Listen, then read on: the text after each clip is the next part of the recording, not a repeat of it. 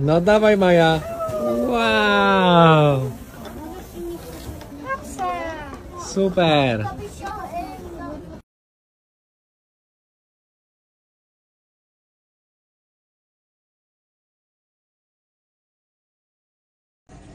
Jestem w Szwecji i nie ma tu żadnego papieru do wycierania, tylko są ręczniczki. Bierzesz sobie taki ręczniczek, wycierasz rączki, jedną, drugą i potem dajesz tu, no i piorą i taka chyba ekologia to jest, tak mi się wydaje, że chyba jest to ekologiczne, nie?